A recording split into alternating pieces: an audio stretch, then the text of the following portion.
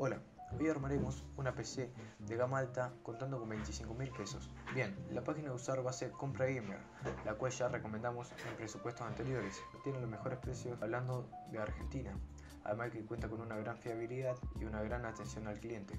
Ahora, para armar nuestro PC vamos a arma tu PC y vamos a la sección de AMD. Como podemos ver hay una gran variedad de motherboards. Comenzando por la primera a la izquierda podemos ver que tiene un socket FM2 Plus. Hablando de él, ¿qué se puede decir? Que era mayormente para los procesadores APU, los cuales contaban con una gráfica integrada muy potente y estaban muy bien para las PC de entrada. Pero en este caso queremos una PC tope de gama. Ahora, Hablando de la motherboard de su derecha, es socket AM3 Plus, lo que permite meter procesadores los cuales podemos conocer más como el FX 6300, los cuales eran muy buenos procesadores para gama media, o el 8350, que eso entonces era un gama alta, hablando en esos tiempos era el año 2011. Ya más abajo podemos encontrar las nuevas madres de Ryzen, las cuales están conformadas por varios chipsets. El primero y más básico es el A320, el cual no permite OC, pero sí podemos subir la frecuencia de la memoria RAM y solo cuenta en su mayoría con un solo slot para tarjeta gráfica. Ahora empecemos hablando del B350 el cual ya permite overclock a RAM y CPU juntos y también permite Crossfire, lo que es meter dos tarjetas de la marca AMD que tengan el mismo núcleo gráfico.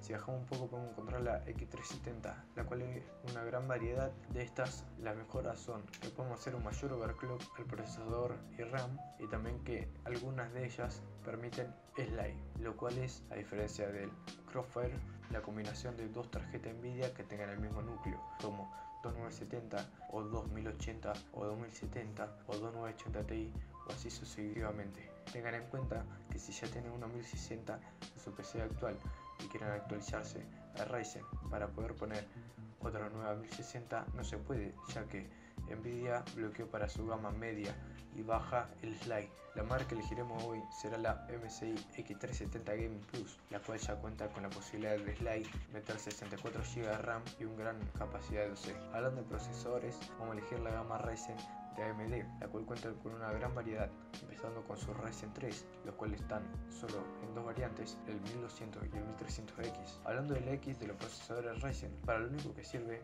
es para hacer un auto C hecho por la madre cuando se ve que hay unas temperaturas y una fuente ideal para este pero la verdad que no sube demasiado las frecuencias y hablando de esto no vale la pena comprar la X ya que con un 1200 con el cooler de stock puedes llegar tranquilamente si sabe hacer un poco de OC a los 3,7 o más Ahora, las dos variantes que podemos ver de Ryzen 3 son el 1200 y el 1300X, los cuales cuentan los dos con 4 núcleos y 4 hilos. La verdad que son unos procesadores de entrada los cuales no están nada mal y para PC de gama media o baja sirven bastante bien. Ya entrando a su gama media alta tenemos los Ryzen 1400 y 1500X, los cuales cuentan los dos con 4 núcleos y 4 hilos. La diferencia entre los dos, igual que en el 1200 y 1300X, es la cantidad de megabytes de caché que tienen cada uno. Ya entrando a los Ryzen 1600 y 1600X contamos con dos procesadores los cuales contienen 6 núcleos y 12 hilos y en su gama más alta tenemos los Ryzen 1700 y 1700X y 1800X, los cuales ya son más para edición de video y no tanto para gaming. Estos cuentan con 8 núcleos y 16 hilos. El procesador que vamos a elegir hoy va a ser Ryzen 5600, el cual ya cuenta con 12 hilos y 6 núcleos que es más que suficiente para el gaming actual. Hablando de coolers, no vale la pena ya que la diferencia con el cooler de stock recién la veríamos hablando de temperatura y capacidad de overclock con una refrigeración líquida, las cuales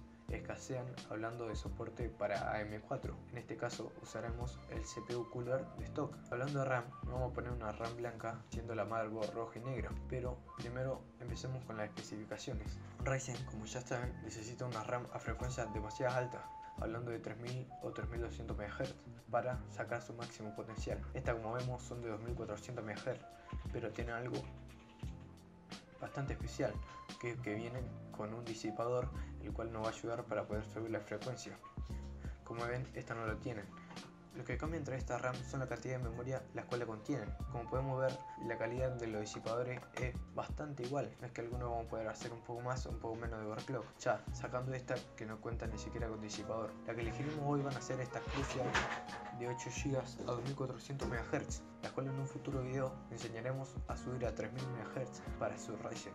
Elegiremos dos de estas, así conformaremos la PC con 16 GB. Ahora hablando de la tarjeta de video, vamos a poner una muy hermosa 580, las cuales están más baratas que las 1060 de 3 GB y tiene una mayor potencia. Además que es de la marca Sapphire, una de las mejores marcas ensambladoras de la RX 580. Tenemos la posibilidad, como ya dijimos, de hacer un crossfire, pero no nos da el presupuesto para esto. Igualmente, no vale la pena, ya que para 1080 o 2K no es tanta la diferencia. Igual no vale la pena, ya que todos los juegos no están optimizados para esta, esta combinación de tarjeta gráfica y no aprovecharíamos al máximo las dos tarjetas gráficas. Ahora, hablando de almacenamiento, lo que vamos a poner va a ser un disco de 1 tera desde Western Digital, un Caviar Blue. Además de este, le agregaremos un disco SSD Western Digital de 240 GB. Por si no saben, es un disco que está hecho como las memorias RAM, las cuales permiten que sean la transferencia de datos mucho más rápida y el Windows y demás programas, los cuales meteremos acá, sean mucho más rápido la carga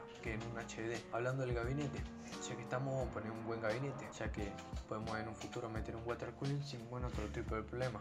Lo único que cambian entre uno y otro son el espacio, el cual contiene para tarjetas gráficas y también la cantidad de ventiladores, cantidad de radiadores que podemos meter para water cooling. Como podemos ver, el que vamos a elegir hoy va a ser el Corsair 400C, el cual yo tengo y está muy pero muy bien. Viene con la capacidad de meter dos ventiladores 120 o 140 milímetros arriba, dos de 140 o 3 de 120 en el frontal y uno de 120 o 140 en la parte trasera. Contiene ya desde stock un ventilador de 120 atrás y uno de 140 adelante y viene con cobertor de fuente. La verdad, más que genial, además que su aspecto es bellísimo. Ahora, hablando de las fuentes, ¿qué cambian entre ellas?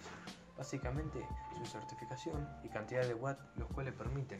Hablando de 80 Plus, bronce es el segundo más bajo de todos los 80 Plus, el cual te da una eficacia de 80% de los watts que contiene o dice la fuente. Como podemos ver, la computadora estaría consumiendo alrededor de 395 watts, por lo tanto siempre hay que poner un poco más de watts de lo que dice la computadora.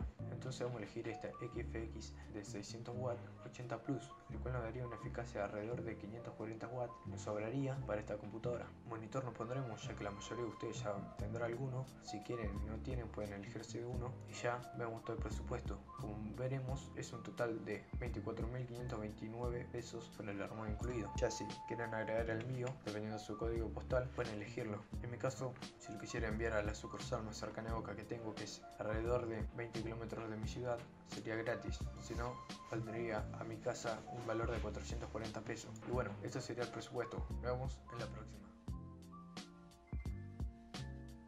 Si quieres por último te puedes pasar por Google Plus, las comunidades, buscas PC Gamer en español, entras y nos envía tu invitación. Te vamos a aceptar rápidamente lo que vas a poder hacer es plantear tus posts, alguna duda que tengas y nosotros rápidamente te contestaremos para ayudarte con tu duda. Bueno, ahora sí, nos vemos en la próxima.